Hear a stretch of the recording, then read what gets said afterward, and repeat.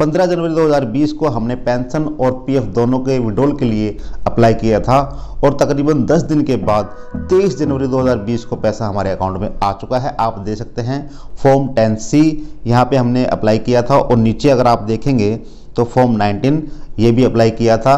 दोनों का full and final के लिए पैसा हमने अप्लाई किया था और हमारे अकाउंट में तेईस जनवरी दो हज़ार बीस को पैसा आ चुका है। आप देख सकते हैं यहाँ पे दोनों के दोनों सेटल हो चुके हैं। इसके लिए हमने क्या प्रोसेस किया था? क्या डॉक्यूमेंट्स लगाए थे? और जो हमें अपनी चेकबुक पासबुक को अपलोड करना होता है, वो किस तरह से किया था? ताकि आप भी अगर अप्लाई करें तो आप बिना किसी रिजेक्शन के, बिना किसी फेलियर के अप्लाई कर सकें और आपका जो पैसा है आपके अकाउंट में आ सके। तो आपको अपने यून आई के अंदर लॉगिन कर लेना है पासवर्ड और ये कैप्चा फिल करने के बाद। और आपके सामने अपना डैशबोर्ड आ जाएगा। और आपको ऊपर जाना है ऑनलाइन सर्विस के अंदर। यहाँ पे सबसे पहले ऑप्शन को सिलेक्ट करना है। और यहाँ पे आपको अपने बैंक अकाउंट के लास्ट के चार डिजिट है, उनको फिल कर देना है। उसके बाद वेरीफाई पे क्लिक करना है।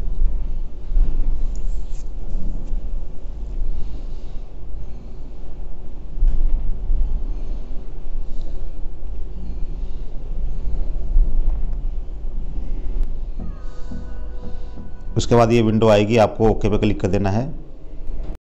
और नीचे प्रोसीड टू क्लेम पे क्लिक कर देना है। उसके बाद फाइनल पेज ओपन हो जाता है आपके सामने। और सबसे पहले आपको इंश्योर करना है कि आपकी जो डेट ऑफ़ ज्वाइनिंग और डेट ऑफ़ एग्जिट है वो मेंशन होनी चाहिए यहाँ पे। आप चेक कर सकते हैं यहाँ पे सबसे पहले।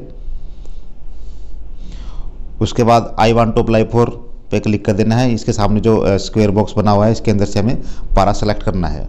इसके अंदर से मैं only pension withdrawal form ten को सिलेक्ट करने वाला हूँ, क्योंकि मैं पी एफ़ विड्रॉल 19 फॉर्म पहले भर चुका हूँ।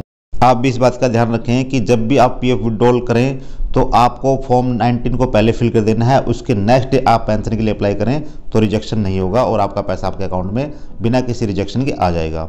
नीचे आपको अपना एड्रेस फिल कर देना है और नीचे आपको यहाँ पे दिखेगा कि आपको अपना पासबुक या चेकबुक जिसके ऊपर आपका नाम हो, उसका फ़ोटो लेना है, उसको यहाँ पे अपलोड कर देना है और उसका साइज़ हमें 100 के बी से 500 के बी के बीच में रखना है। उसको कैसे करना होता है, उसका लिंक मैं आपको वीडियो के डिस्क्रिप्शन में दे दूँगा। वहाँ से आप अपने फ़ोटो को कर सकते हैं।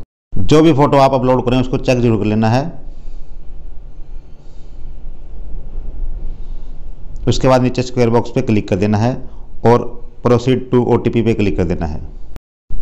इसके बाद आपके मोबाइल पर एक ओटीपी आएगा, उसको यहाँ पर फिल कर देना है और नीचे वैलिडेट ओटीपी पे क्लिक कर देना है।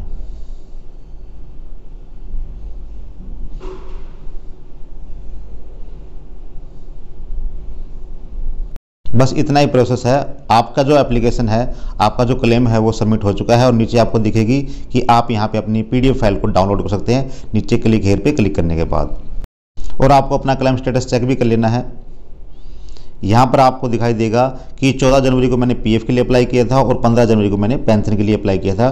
जो मैं आपको वीडियो की स्टार्टिंग में दिखा चुका हूँ कि दोनों सेटल हो चुके हैं और तकरीबन 10 दिन के बाद हमारा पैसा हमारे अकाउंट में आ गया था। तो आपको यही प्रोसीजर अपनाना है। इस वीडियो में मैंने आपको सिर्फ़ पेंशन विड्रॉल करने के लिए बताया है। आपको अगर पीएफ विड्रॉल का सीखना है तो आपको ये वाली वीडियो देख लेनी है। आपको क्या करना है, वीडियो डिस्क्रिप्शन में क्लिक करना है। वहाँ पे एक प्ले लिस्ट है, पीएफ के नाम से उसमें जा करके देखना है। एक आपको थमनेल मिलेगा, एक फ़ोटो दिखाई देगी पीएफ निकालना दो मिनट के अंदर। आपको उस वीडियो को देख लेना है। सेम प्रोसेस है, आपको सिर्फ़ फॉर्म नाइनटीन को सिलेक्ट करना है।